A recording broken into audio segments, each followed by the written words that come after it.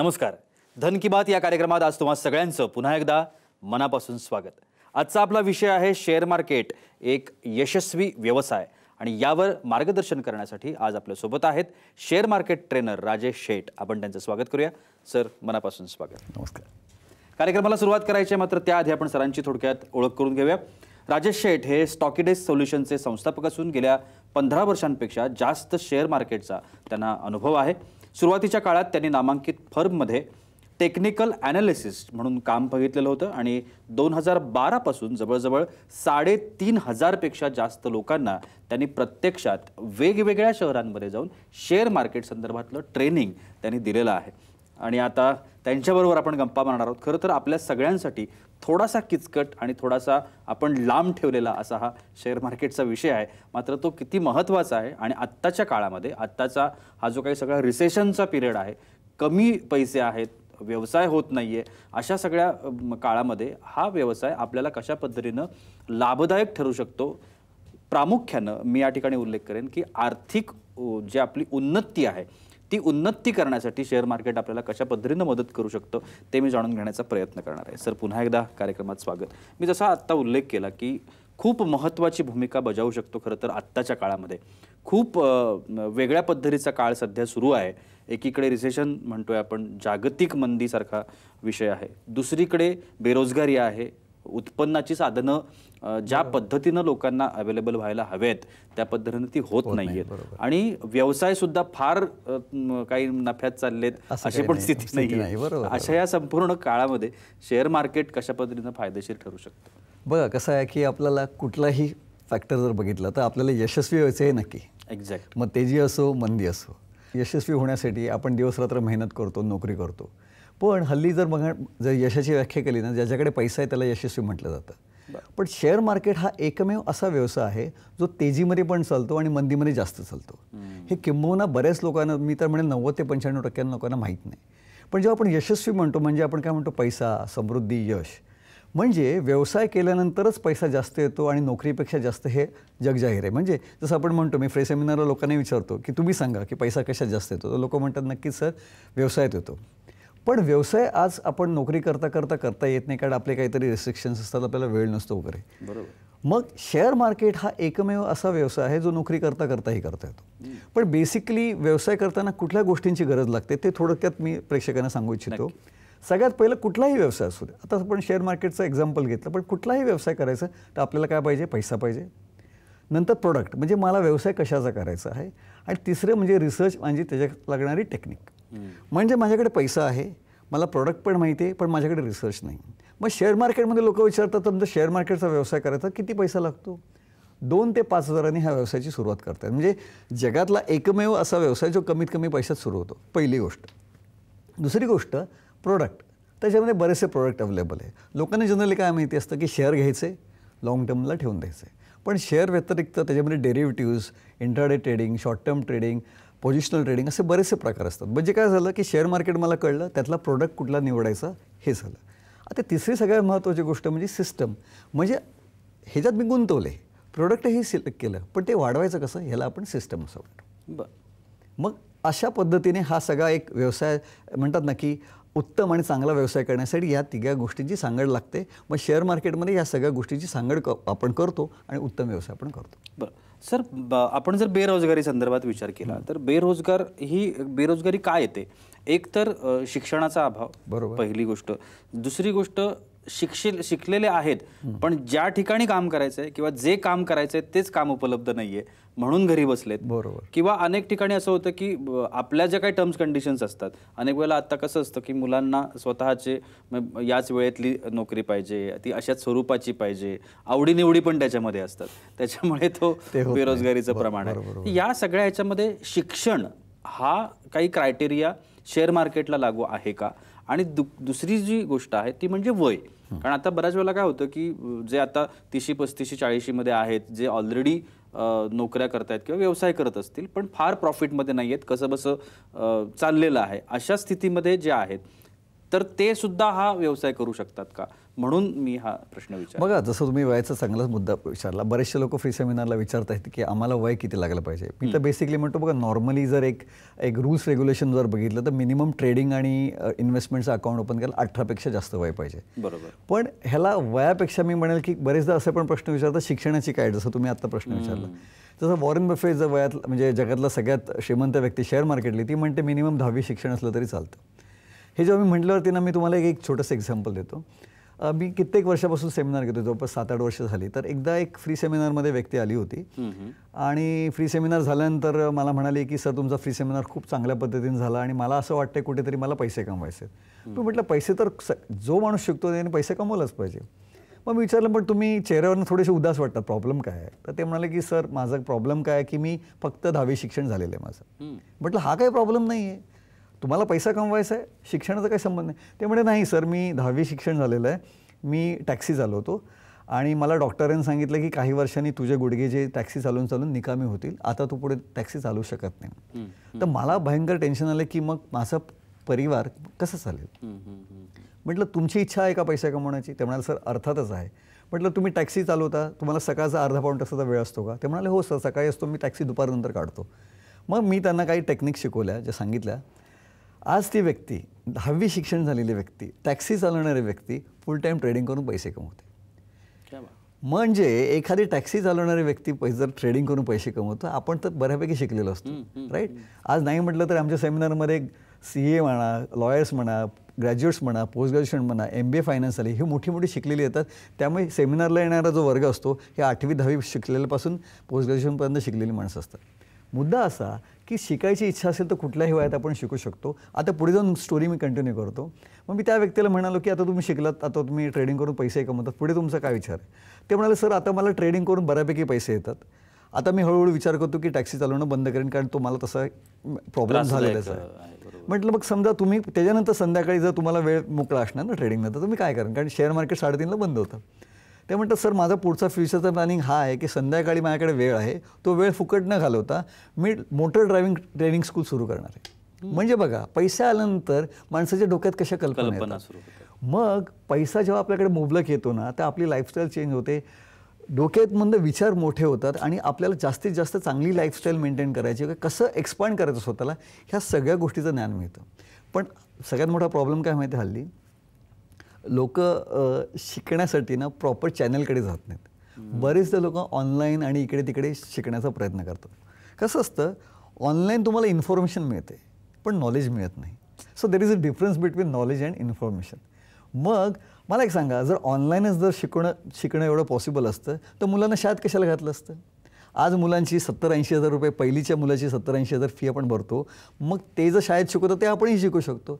पण आपल्याला माहिती आहे तिकडे प्रॉपर संस्थेत ते जातात एक गुरुकडनं शिकतात एक सिस्टम फॉलो करतात मग त्याचा एक म्हणतात ना लाईफमध्ये तो प्रोग्रेस करतो. मग हे कुठेतरी जुजबी किंवा थोडंफार अर्धवट ज्ञान करून करण्यापेक्षा कुठेतरी तज्ज्ञाकडनं शिकलं पाहिजे. आमच्याकडनं त आमच्यासारखा पंधरा सोळा वर्षाचा अनुभव माणसाकडनं शिकलं पाहिजे. मग तेव्हा आपल्याला वयाची भीती वाटत नाही शिक्षणाची भीती वाटत नाही कारण आपल्याकडे प्रॉपर नॉलेज असतं. बरोबर.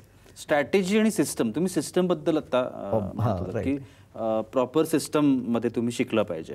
सिस्टम्स फॉलो केल्या पाहिजेत आणि स्ट्रॅटेजीज फॉलो केल्या पाहिजेत. right. दोन्ही गोष्टी आहेत. जशा इतर जे व्यवसाय आहेत त्याच्यामध्ये पण सिस्टम्स असतात. स्ट्रॅटेजी असतात.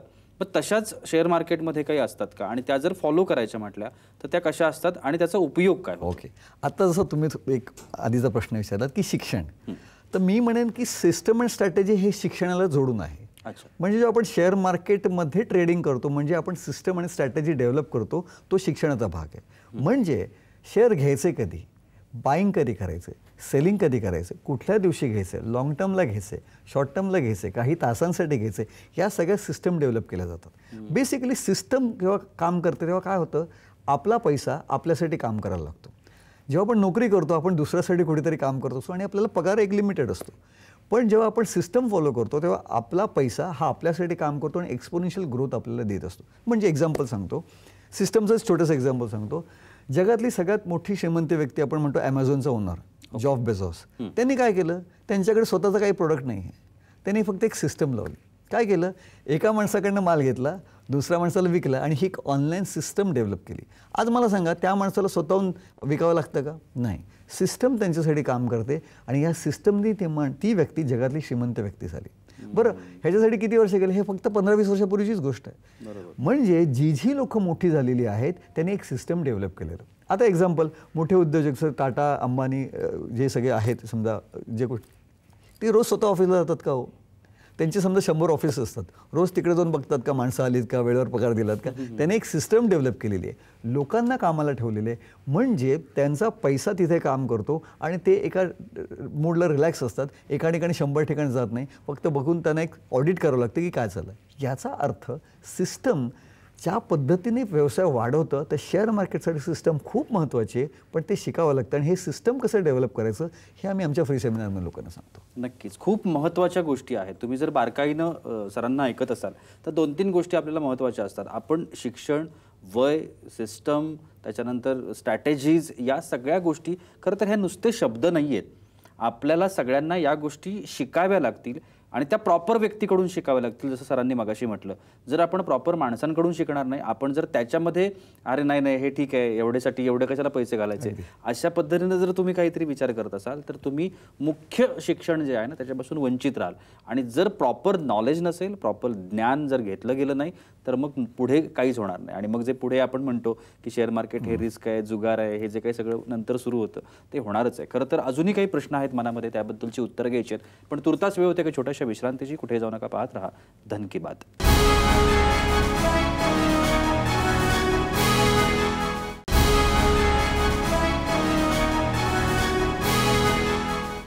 विश्रांतीनंतर धन की बातमध्ये तुम्हा सगळ्यांचं पुन्हा एकदा मनापासून स्वागत.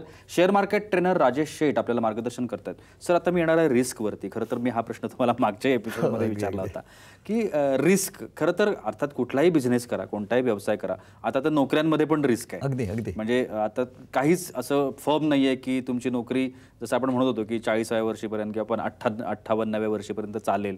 कधीही तुम्हाला अर्थात हे सगळं गव्हर्नमेंट जॉबमध्ये नाही पण प्रायव्हेट सेक्टरमध्ये आपल्याला तर माहिती आहे कधी. ऑर्डर येते आणि आपल्याला आपली नोकरी जाते. पण तरी सुद्धा शेअर मार्केटच्या बाबतीमधली जी रिस्क आहे जी थेट पैशांची रिस्क आहे म्हणून कदाचित लोक घाबरत असतील. त्याचबद्दल आपल्याला काय सांगता बघा रिस्क म्हणजे परत ना अभ्यासाचा विषय आला. काय होतं माहिती आहे का? आपल्याला पटकन कुठेतरी श्रीमंत व्हायचं असतं आणि कुठेतरी चुकीचं ऐकलेलं असतं म्हणून आपण शेअर मार्केटमध्ये येतो.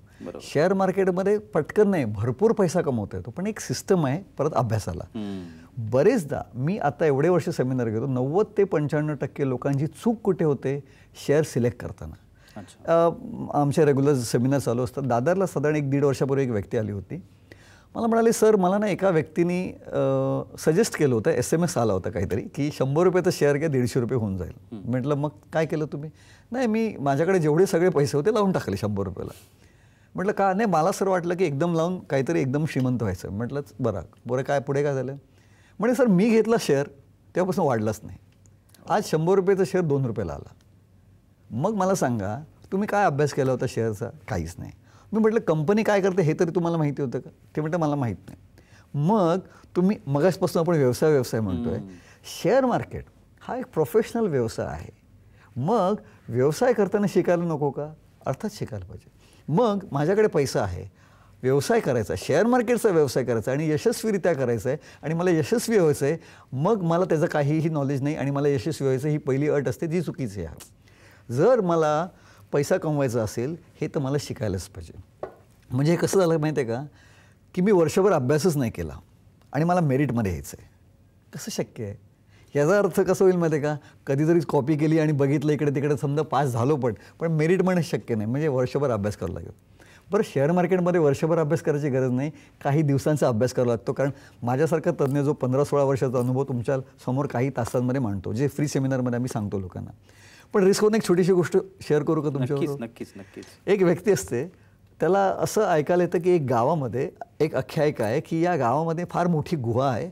आणि या गुहेत जर माणूस जातो ना तो जग म्हणजे जगत नाही म्हणे मरून जातो. अच्छा. आणि गावाच्या लोकांना गुहेबद्दल अट्रॅक्शन फार असतं पण गुहेत जायला कोणाची तयारी नाही. सगळे म्हणतात गुहेच्या मागे काहीतरी भयंकर आहे पण जायला कोणी तयार नाही. मग एक व्यक्ती म्हणतो मी असं गावाबद्दल ऐकलेलं आहे. तो येतो गावामध्ये. तर म्हणतो काय आहे? मला सांगा गुहेबद्दल. तर म्हणतो नाही नाही नाही आम्हाला त्याच्याबद्दल माहीत नाही पण ऐकलं आहे काहीतरी भयंकर असेल आणि काहीतरी फॅसिनेटिंग आहे पण आम्ही जाणार नाही. तो म्हणतो नाही मी एकदा छोटीशी रिस्क घेतो आणि मला जायचं आहे कारण मी असा व्यक्ती आहे मी फार पॉझिटिव्ह आहे. जोपर्यंत लोक सांगतात ह्याच्यावरती माझा विश्वास नाही. मी स्वतः अनुभव घेणार. ते म्हणतात अरे रे असं करू नको. ऑलरेडी शंभर दोनशे माणसं गेली आहेत गुहेमध्ये रिटर्न आलेली नाही आहेत बघ तुझं काय बरं वाईट झालं तू ठरव. तो म्हणतो काहीही नथिंग डुईंग मला लोकांचं ऐकायचं नाही. मी खूप पॉझिटिव्ह आहे. मी ठरवणार मला काय करायचं. म्हणून मित्रांबरोबर सांगतो आपले डिसिजन स्वतः घ्यायचे दुसऱ्यांवरती ऐकून किंवा दुसऱ्यांचं ऐकायचं नाही. नॉर्मली संधी निघून जातात. तो म्हणतो ठीक आहे जातो. एके दिवशी रात्री सुरुवात करतो चालायला. थोडासा अंधार असतो संध्याकाळची गोष्ट संध्याकाळ रात्रीची गोष्ट. चालायला लागतो. चालता चालता गुहेमध्ये अंधार वाढत जातो. भीती वाटते कारण अरे लोकांचं ऐकायला पाहिजे होतं का? असं थोडे क्षणात विचार येतो. आणखीन जरा जातो आणि पटकन कोणीतरी धक्का मारतो आणि तो पडतो. बऱ्याच तासानंतर त्याला जाग येते. आणि तो बघतो म्हणजे त्याला विश्वास बसत नाही त्या गुहेमध्ये लख्ख प्रकाश असतो. सगळीकडे हिरे माणके सोने चांदी जगभराचं ऐश्वर त्या गुहेच्या आत असतं. आणि जी गावची पन्नास शंभर लोक हरवलेली असतात ती सगळी त्या गुहेत असतात. मग तो म्हणतो अरे मी काहीतरी ऐकलं होतं तुम्ही काहीतरी म्हणजे हे काहीतरी वेगळंच आहे. मग त्यातल्या एका माणसाला विचारतो हरवलेल्या माणसाला की तुम्ही गुहेत आहात तिथे लोक म्हणतात तुम्ही हरवलात तर काय सांगा तो म्हणतो ॲक्च्युली काय माहिती आहे का या गुहेच्या मागचं विश्व फार मोठं आहे. पण जर इथे सगळेच गर्दी करायला लागले तर प्रॉब्लेम होईल. मग काही लोकांना असं वाटतं की तुम्ही त्या गुहेत जाऊ नको म्हणून काहीतरी ना अफवा पसरलेले असतात. मग शेअर मार्केट ती एक गुहा आहे. त्याच्यामध्ये कुठेतरी स्वतः प्रवेश केला पाहिजे. कोणीतरी काहीतरी चुकीचं सांगलं म्हणून आपण त्या गुहेत प्रवेश करत नाही. मग त्या गुहेमागचं स्वप्न सत्य आपल्याला कळत नाही. पण ज्यांना कळतं ते दुसऱ्यांना सांगत नाही. आणि हे सत्य तुम्हाला जाणून घ्यायचं असेल तर तुम्हाला राजेश शेट यांच्या सेमिनारमध्ये यायला लागेल. आणि त्या ठिकाणी तुम्हाला समजून घ्यावं लागेल की कशा पद्धतीनं ह्या गुहेमागचं सत्य आहे. खरंच आत्ता जशा पद्धतीनं म्हणतोय आपण की व्यवसाय आहे आणि दुसऱ्या बाजूला शेअर मार्केट हे करिअरसुद्धा आहे.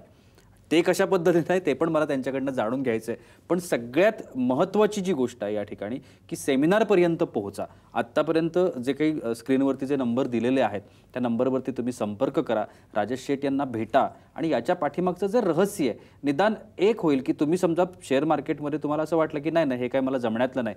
पण निदान नॉलेज तरी तुम्हाला मिळेल. आणि ज्ञान हे कधीच फुकट जात नाही असं मला तरी निश्चितपणानं वाटतं.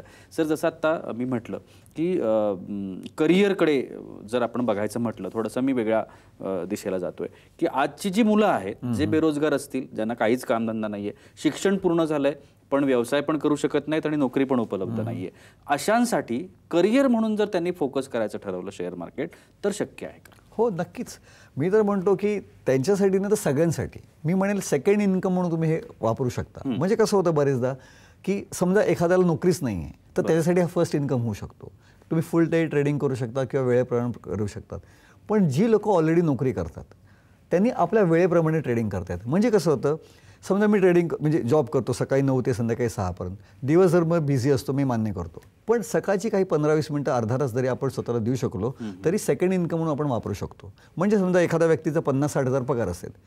पण कुठेतरी महिन्याच्या शेवटी तो पुरत नसेल मग महिन्याला आपल्याला आणखीन वीस पंचवीस हजार रुपये कमवायचे. हे पंचवीस वीस हजार कमवण्यासाठी फक्त दिवसातनं पाच ते दहा मिनटं तुम्हाला द्यावे लागतात. मग जगातला कुठला असा व्यवसाय जो पाच दहा मिनिटामध्ये पंचवीस तीस हजार देतो ते कुठलाच नाही आणि जसं तुम्ही प्रश्न केलात की एखाद्याला नोकरीच मिळत नाही वेळ भरपूर आहे. त्या माणसाला जास्त अपॉर्च्युनिटी आहे कारण तो फुल टाईम या बिझनेसमध्ये आलेला आहे. आमच्याकडे नोकरी करणारी तर लोक ट्रेडिंग करतातच फुल टाईम ट्रेडर्स पण आहे. फुल टाईम ट्रेडिंग करून महिन्याला लाखो रुपये कर कमवणारी लोक आमच्याकडे जसं मग आत्ताच एक्झाम्पल दिलं एका टॅक्सी ड्रायव्हरचं शिक्षणाची वयाची काही अट नाही. म्हणजे एखादी दहावी बारावी शिकलेली व्यक्ती पण येऊन पैसा कमवते तर आपण बऱ्यापैकी शिकलेलो असतो राईट बेसिक कम्प्युटर नॉलेज किंवा बेसिक कम्प्युटर नाही हो, आजकाल मोबाईल स्मार्टफोनवरती पण तुम्ही ट्रेडिंग करून पैसे कमवू शकतात. बरं स्मार्टफोनसाठी व्हॉट्सअप आणि फेसबुकला आपल्याकडे पंधरा वीस मिनटं असतातच. म्हणजे दिवसच देतो तर पंधरा वीस मिनटं इकडे द्यायला काहीच हरकत नाही. त्या उलट मी सांगेन ज्या आपल्या गृहिणी आहेत ज्या माता भगिनी आपल्या घरी असतात त्यांना मी विशेषतः सांगेन तुम्ही दिवसभर घरी काम करता. पण पूर्ण दिवसभरात काम करताना एक पंधरा वीस मिनटं आपण मोबाईल तर सहज चेक करतो. मग मोबाईल चेक करता करता समजा जर आपण थोडंफार ट्रेडिंग केलं आणि तो जो थोडाफार पैसा आहे जो आपल्या घर खर्चाला कामाला आला तर. मी म्हणत नाही तुम्ही सुरुवातीला करोड रुपये कमवा. ते कमवणार पण. त्याला वेळ लागते त्याला प्रॅक्टिस लागते. पण सुरुवातीला दहा पंधरा हजार जरी महिन्याला कमवले ना मी तर म्हणतो लाईटचं बिल म्हणा टेलिफोनचं बिल म्हणा अगदीच नाही तर मुलांची शाळेची फीज म्हणा. एवढे बेसिक छोटे छोटे खर्च जरी आपल्याला काढता आले सुरुवातीला तरी भरपूर आपण केलं असं सांगतो. पण सुरुवात कमी पैशांनी करायची कमी अमाऊंटचं टार्गेट ठेवायचं पण कालांतराने हे टार्गेट वाढवत वाढत जायचं आणि आज महिन्याला लाखो रुपये कमवणारे लोक आहेत ते फक्त ट्रेडिंग करतात. म्हणजे हे एवढं सोपं आहे आणि सगळ्यांनी केलंच पाहिजे. सर सुरुवातीला तुम्ही म्हणाला होतात की शेअर मधनं शेअर घ्यायचा आणि तो विकायचा. एवढाच एक पर्याय लोकांना माहिती आहे. हो. पण त्याच्यामधले जे इतर ऑप्शन्स आहेत ज्याला आपण प्रोडक्ट म्हणता तर ते किंवा गुंतवणुकीचे पर्याय आपण असं सुद्धा. त्याला हो, म्हणू हो. शकतो. तर याच्या संदर्भात आपल्याला काय सांग बघा नॉर्मली गुंतवणुकीचं प्रोडक्ट लोकांना काय माहिती असतं? सगळ्यात सेफ बँकेत एफ डी करायची हे सगळ्यांना माहिती असतं. जे साधारण वर्षाला सहा साडेसहा टक्के देतं. पण त्याच्या व्यतिरिक्त ही जी महागाई आहे त्याच्यावरती मात करण्यासाठी आपल्याला शेअर मार्केटमध्ये गुंतवलं पाहिजे राईट मग शेअर मार्केटचा जो आत्तापर्यंतचा मागच्या चाळीस वर्षाचा जो परतावा रिटर्न बघितला तो सतरा टक्क्यापेक्षा जास्त आहे. पण शेअर मार्केटमध्ये गुंतवणूक करायची म्हणजे काय? शेअर चांगल्या पद्धतीने निवडायचे कुठले? हे सगळं तुम्हाला फ्री सेमिनारला आम्ही मार्गदर्शन करतो. जसं मी मगाशी एक्झाम्पल दिलं एका माणसाने शंभर रुपयाचा शेअर निवडला आणि तो दोन रुपयाचा झाला. ह्याचा अर्थ काय झालं? त्या माणसाला त्याची काहीही माहिती नव्हती. बेसिकली शेअर कसा सिलेक्ट करायचं तेही माहीत नाही. मग शेअर सिलेक्ट करताना म्हणजे कंपनीची भागीदारी करताना आपण पुढच्या पंधरा वीस पंचवीस तीस वर्षाचा विचार करतो जेव्हा आपण लॉंग टर्म इन्व्हेस्टमेंट करतो हा झाला पहिला प्रकार जेव्हामध्ये जो पैसा मोठा होतो काही वर्षानंतर. पण मला महिन्याचा खर्च करायचा आहे तर त्याच्यासाठी सगळ्यात उत्तम म्हणजे ट्रेडिंग. ट्रेडिंग ही अशी गोष्ट आहे जी दिवसांना पाच दहा मिनटं करून तुम्हाला पैसे कमवता येतात आणि दिवसाला दोन ते पाच हजार रुपये सहज कमवू शकतो. मग ट्रेडिंगमध्ये पण प्रकार असतात. जर मी आजच्या आज बाईंग सेलिंग केलं तर त्याला इंट्राडे किंवा डे ट्रेडिंग म्हणतात. पहिला प्रकार. समजा मी आज शेअर घेतला पण आज विकला नाही चार दिवसांनी किंवा पाच दिवसांनी विकला त्याला स्विंग ट्रेडिंग म्हणतात. तिसरा प्रकार मी आज शेअर घेतला आज नाही विकता तीन महिने किंवा सहा महिन्यांनी विकला त्याला शॉर्ट टर्म इन्व्हेस्टमेंट म्हणतात. चौथा प्रकार मी शेअर घेतला आणि पंधरा वीस वर्ष ठेवून दिला त्याला इन्व्हेस्टमेंट म्हणतात. बेसिकली ह्या टेक्निकल गोष्टी म्हणजे कसं आहे? इन शॉर्ट थोडक्यात सांगायचं मी सोप्या भाषेत. शेअर घेतल्यानंतर प्रॉफिट झाला तर विकायचा. ही त्याची अंडरलाईन टॅग आहे असं मी म्हणायला हरकत नाही. पण घ्यायचा कधी? कुठला घ्यायचा? कुठल्या किमतीला? कुठल्या दिवशी? हे सगळं तुम्हाला ते शेअर मार्केटचं पूर्ण ज्ञान फ्री सेमिनारला आम्ही देतो. नक्कीच सर. आपण कार्यक्रमाच्या अगदीच अंतिम टप्प्यामध्ये आहोत. जाता जाता आपल्या प्रेक्षकांना काय सांगता येईल? बघा शेअर मार्केट ही एक शर्यत आहे. प्रत्येक माणसाला वाटतं मला शर्यतीत जिंकायचं आहे. पण शर्यतीत जिंकण्यासाठी आधी शर्यतीत भाग घ्यावा लागतो. बरोबर. पळताना कुठेतरी खर्चटतं लागतं. पण ते काय नाही आपण थोडंसं मलमपट्टी लावून होऊ शकतो. पण पाय हा तुटत नाही. पण कुठेतरी प्रयत्न स्वतः केले पाहिजे. मग मला या शर्यतीत जिंकायचं आहे मला पहिला नंबर करायचा आहे जसा आपला विषय मला यशस्वी व्हायचं आहे मला पैसा कमवायचा आहे मग शेअर मार्केटमध्ये यायलाच पाहिजे. त्यामुळे प्रत्येक प्रेक्षकांना मी सांगेन तुम्ही जे टी व्हीत बघतात असं वेळेची मर्यादा असलं मी पंधरा वीस मिनटात या अर्धा तासात आपण जास्त काही शेअर करता येणार नाही. पण दोन तासाचा फ्री सेमिनार आहे. सगळ्या म्हणजे तुम्ही आता नंबर्स आणि बघत असाल जेवढे पण लोकेशन्स आहे तुम्हाला जिथे कम्फर्टेबल आहे तिथे तुम्ही येऊ शकता. मी प्रत्यक्ष तिथे स्वतःहून मार्गदर्शन करतो. तुम्हाला कसं यशस्वी करायची ही जबाबदारी माझी. प्रत्येकाला मी सांगतो फ्री सेमिनारला या. आपण एकत्र यशस्वी होऊ आणि मोठे होऊया नक्कीच. खूप महत्त्वाचं आव्हान सरांनी केलं खरं तर मला या ठिकाणी दोन तीन गोष्टी सरांच्या बाबतीमध्ये सांगायच्या आहेत. एकतर तुम्हाला जर आत्ता संपर्क करत असाल तर आत्ता आम्ही वेळेअभावी कोणाचेही कॉल्स घेत नाही आहोत. त्याच्यामुळे तुम्ही थेट सरांना संपर्क करू शकता. दुसरी महत्त्वाची गोष्ट समजा तुम्हाला संपर्कच झाला नाही सरांचा आणि तुम्हाला डायरेक्टली लोकेशनवर जायचं असेल तरीसुद्धा सर तुम्हाला त्या ठिकाणी मार्गदर्शन करतील तुम्हाला प्रवेश मिळेल. आणि जे आत्ता सर म्हणत होते की निदान नॉलेज घ्या. ज्ञान घ्या. करायचं की नाही हा नंतरचा पर्याय आहे. ते तुम्ही ठरवू शकता तुम्ही स्वतःच्या लेवलवरती पण पहिल्यात मुळात ते काय आहे? शेअर मार्केट म्हणजे काय? त्याचं जर बेसिकपासून काही माहिती नसेल तर ते नॉलेज तुम्ही घेऊ शकता. आणि त्यासाठी ही जी फ्री सेमिनार आहे ते फ्री सेमिनार तुम्ही नक्की अटेंड करा. सर तुम्ही आजच्या कार्यक्रमात आलात आणि एवढी छान माहिती आमच्या प्रेक्षकांना दिली त्यासाठी खूप खूप आभार. धन्यवाद. आणि याबरोबरच वेळ होते इथेच थांबण्याची. कुठे जाऊ नका पाहत राहा. साम टी व्ही